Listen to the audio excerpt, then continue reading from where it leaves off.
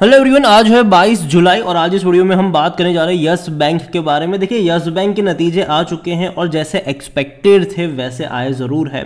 Video में बातचीत करेंगे जो इनके क्वार्टर वन के रिजल्ट्स आए हैं, उसके बारे में साथ में ये भी डिस्कस करेंगे कि अट्ठारह रुपए का ये शेयर लॉन्ग टर्म और शॉर्ट टर्म के लिहाज से कहाँ तक जा सकता है और क्या पोटेंशियल है यहाँ पर। देखिए, वीडियो को शुरू करो, उससे पहले अगर आपने अभी तक चैनल को सब्सक्राइब नहीं किया है तो प्लीज़ अभी इसे सब्सक्राइब कर लीजिए, क्योंकि आगे भी बहुत सारे वीडियोज़ हैं जो आपको काफ़ी ज़्यादा हेल्प करेंगे।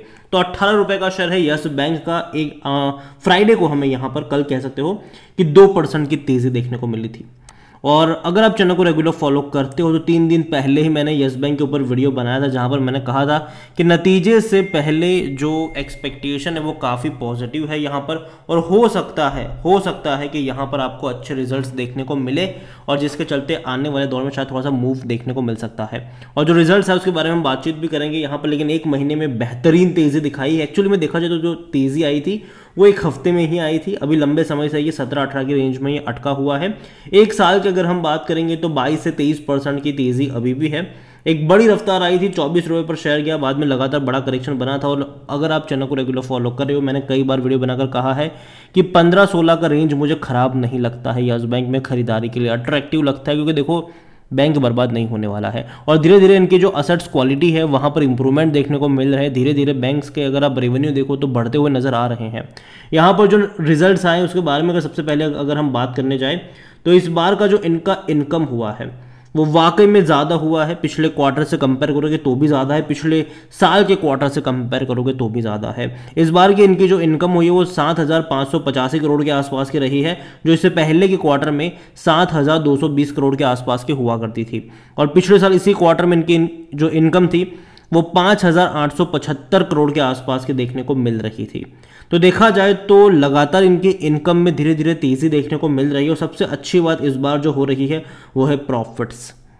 देखिए, प्रॉफिट में दोबारा तेज़ी देखने को मिल रही है। पिछले दो क्वार्टर से लगातार इनके प्रॉफिट बढ़े हैं। इस बार का जो इनका प्रॉफिट हुआ है, वो 340 करोड़ से भी ज़्यादा का देखने को मिल रहा है, जो इससे पहले के क्वार्टर में 202 करोड़ था। और पिछले साल इसी क्वार्टर में 310 करोड़ के आसपास का प्रॉफिट था तो प्रॉफिट में लगातार तेज़ी आई है, जो कि अच्छा साइन है। और दूसरी तरफ़ अगर हम बात करने जाए तो इनका जो असेट्स क्वालिटी है, यहाँ पर इंप्रूवमेंट आया है। और काफ़ी बड़ा इंप्रूवमेंट है पिछले साल के कंपैरिजन में। अब देखिए बैंक्स की जो असेट्स क्वालिटी है, उसमें हेल्दी इंप्रूवमेंट आया है। इनका जो ग्रोस नॉन परफॉर्मिंग असेट्स है, वो दो परसेंट रह चुका है।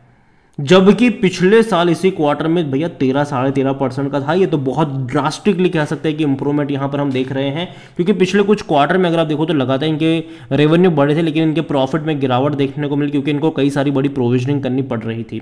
यहाँ पर आप इनका एनपीए देखो नेट एनपीए की अगर हम बात करें तो वो भी एक परसेंट है, जो कि पिछले साल इसी क्वार्टर में 4.2 परसेंट था। तो भैया बहुत ड्रास्टिकली इंप्रूव हो रही है चीज़ें यहाँ पर।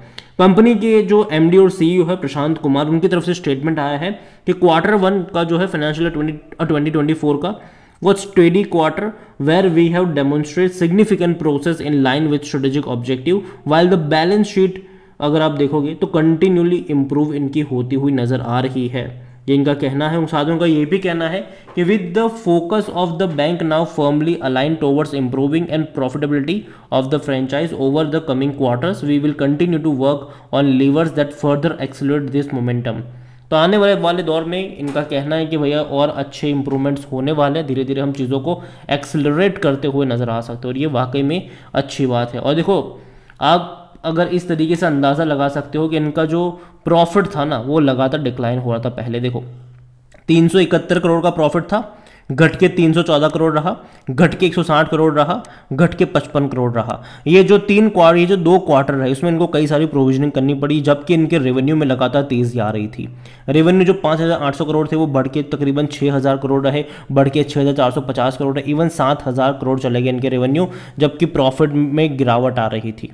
क्योंकि प्रोविजनिंग इनको कई ज़्यादा बड़ी करनी पड़ रही थी। अभी लास्ट क्वार्टर में इनका प्रॉफिट देखो इनका जो अगर हम रेवेन्यू देखेंगे तो सात हज़ार तीन सौ पचास करोड़ रहा और बढ़ा था, था इनका रेवेन्यू और प्रॉफिट में भी बढ़ोतरी देखने को मिली दो करोड़। और इस बार अगर हम देखेंगे तो और बेहतर नंबर्स देखने को यहाँ पर मिल रहे हैं जो कि अच्छी बात है कि रेवेन्यू में भी भी तेज़ी है प्रॉफिट में भी तेज़ी है और एनपीए जो है इनकी जो असेट्स क्वालिटी है वहाँ पर हमें इंप्रूवमेंट देखने को मिल रहा है।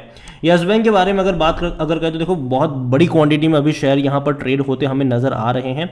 इतना ही नहीं कंपनी का मार्केट कैप देखोगे तो almost fifty two thousand crore के आसपास देखने को मिल रहा है। देखो पी रेशो काफ़ी ज़्यादा महँगा है इसका। सत्तर का है ये। देखो, देखने में शायद लगता है अठारह रुपये काफ़ी सस्ता है, लेकिन अगर हम वैल्यूशन के हिसाब से देखेंगे तो महँगा है, सत्तर का इसका पी है, जो कि काफ़ी महँगा है ये। और तो और अगर हम बात करेंगे डिविडेंड की तो हालाँकि अभी भी वो पे नहीं कर रहा है, लेकिन मुझे लगता है कि शायद आने वाले कुछ क्वार्टर बाद ये पे आउट करना शुरू कर सकता है, जब लगातार इनके प्रॉफिट्स में इंप्रूवमेंट देखने को मिले। और जब तक वो नहीं देखने को मिलेगा, मुझे तक ये पे नहीं करेगा। ऑलरेडी यस बैंक के इतने सारे शेयर्स मार्केट में हैं मतलब बहुत ज़्यादा शेयर्स की डंपिंग यहाँ पर हुई है, जिसके चलते बहुत सारे शेयर्स हो चुके हैं। तो अगर डिविडेंड पे आउट भी करेंगे तो भैया बहुत कम पे करेंगे। शुरुआती दौर में। और चांसेस बहुत लेट है। अभी मुझे लगता नहीं कि एक साल तक तो ये पे आउट करेंगे। जहाँ तक बात करी जाए, इनके रेवेन्यू आप देखते हो कि तेज़ी से बढ़ते नज़र आए। कोविड के टाइम पर भैया घटे ज़रूर थे। बैंक दिवालिया भी होने वाला था, लेकिन बचा लिया गया इसको। और अभी धीरे धीरे इनके इम्प्रूवमेंट्स देखने को अभी तो यहाँ पर मिल रहे हैं।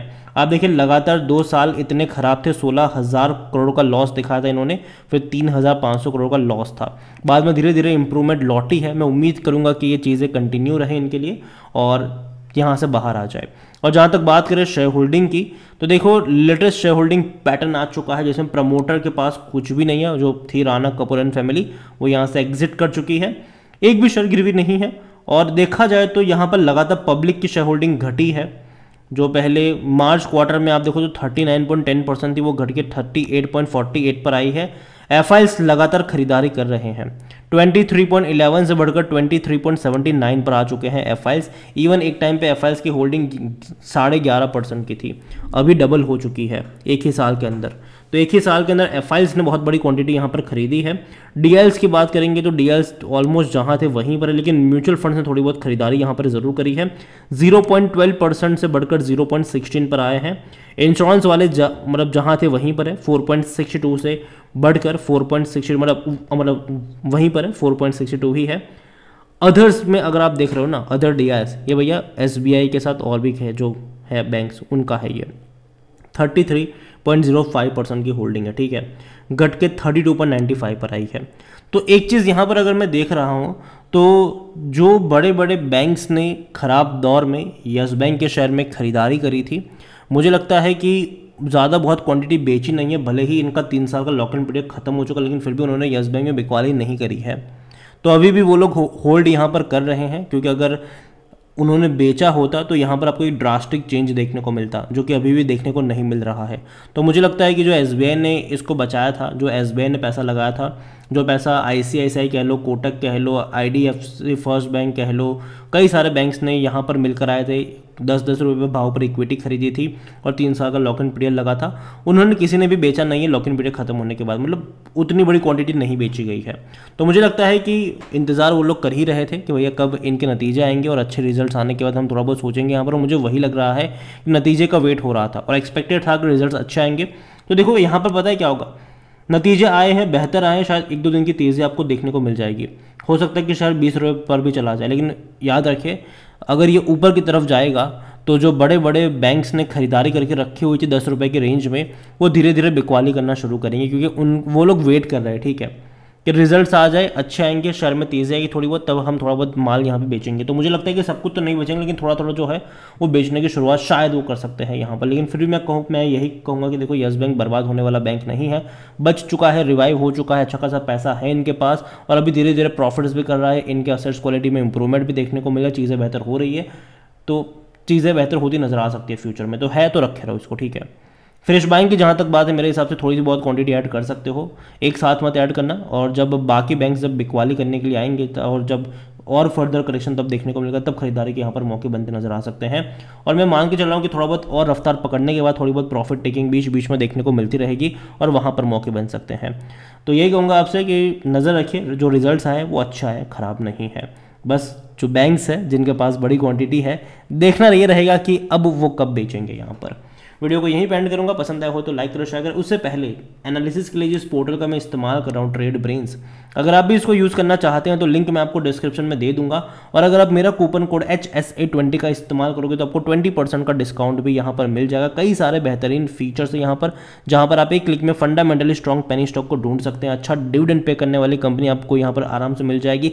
इतना ही नहीं, जो बड़े बड़े इन्वेस्टर्स हैं। वो क्या खरीद रहे हैं? उनका पूरा पोर्टफोलियो वो भी क्वार्टर ऑन क्वार्टर अपडेट के साथ आपको मिल जाएगा। कई सारे शेयर्स इनके पोर्टफोलियो में ऐसे भी होंगे, जिसका नाम तक आपने सुना नहीं होगा। तो देर किस बात की है? लिंक डिस्क्रिप्शन में है कूपन कोड का फ़ायदा उठाइए। वीडियो को यहीं पे एंड करूँगा। पसंद आए तो लाइक करो शेयर करें। चैनल अगर पहली बार हैं तो प्लीज़ सब्सक्राइब करें। और यस बैंक के बारे में क्या सोचते हैं, वो भी आप मुझे कमेंट में लिख कर बता सकते हैं। Thank you